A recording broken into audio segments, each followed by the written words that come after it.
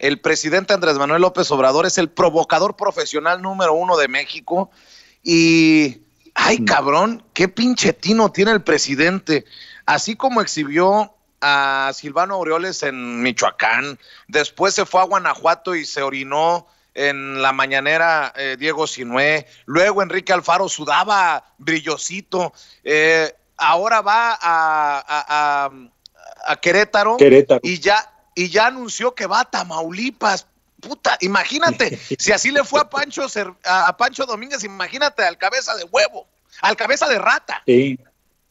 Sí.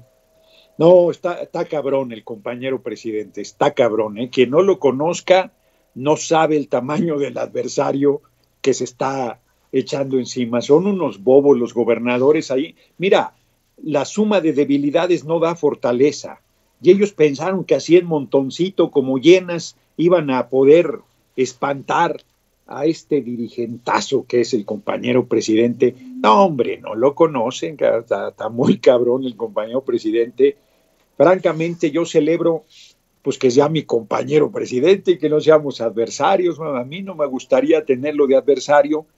Me, adorno yo solito, yo creo que a él tampoco le gustaría tenerme de adversario a mí. Y afortunadamente estamos en el mismo equipo y del lado del pueblo. Eso, está muy bien, francamente, porque sí es un, es un compañero, no, hombre, muy tenaz, cabrón. Y además han sido muy infames, porque hay que recordarlo aquí. Han estado atacando a su hijo. A ver, todos hemos sido niños o niñas, cabrón, eres muy sensible, eres muy vulnerable, este, pues estás en un proceso de maduración y de formación. Es infame que a un niño o una niña lo sometan a ese nivel de presiones, de escarnio, de ataque, de burlas. Sí, sí, ahora sí que el que ahora le llaman bullying, bullying le decimos nosotros en la casa, ahora sí que el que te jodían en la escuela, te, hacía un montón de daño y eran compañeritos de tu edad, man. Imagínate que un adulto, un peludón, se esté metiendo con un menor de edad. Son chingaderas, la verdad, y que estén jodiendo porque estaba en un hotel. Oye, pues ¿qué quieren estos cabrones hipócritas, mano? Que nosotros andemos con un pinche sayal franciscano dándonos chingadazos en la espalda eh, y descalzos y que este comamos pan y agua, y son unos verdaderos cretinos, pero insisto, con un adulto, entre adultos, yo no voy a llorar si se me deja venir la jauría encima como ha sido siempre, ¿no? Yo aquí a, pie firme resisto, pero que se metieran con un hijito mío o una hijita mía menores de edad, es más, ni peludones como están mis hijos aceptaría que me los toquen porque ellos no participan en política. Pero si fueran menores de edad, son chingaderas, la verdad, man. Y entonces el compañero presidente que tiene su carácter, pues ahí debe estar, anote y anote, man, porque no es un asunto de venganza, sino es un asunto de simple justicia y de decir, a ver, ya estuvo bueno, cabrón. Este es más, se los ha dicho en las mañaneras. A ver, yo aquí estoy, pero a mi esposa, ¿por qué la molestan si ni, ni, siquiera, ni la figura primera dama, ni nada de nada de nada?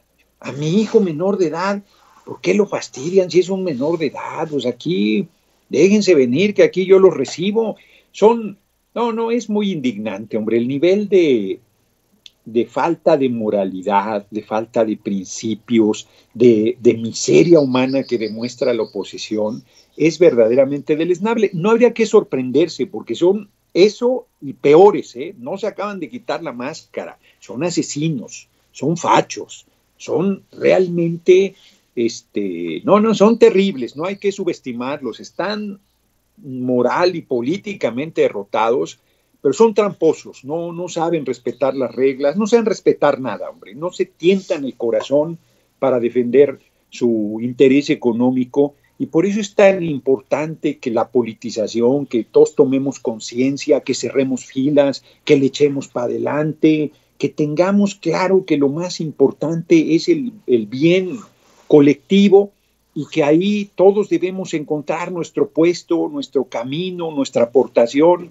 para poder eh, salir adelante. ¿no? no hay que confiarnos nada, les vamos a seguir ganando todo, pero no hay que confiarnos nada, no hay que tener ni el mínimo de compasión ni el mínimo de consideración, hay que ser implacables en el sentido este, con justicia, con legalidad, sin trampa, sin, sin falta de moralidad, con ética, pero hay que ser implacables con estos porque son, son verdaderamente peligrosos.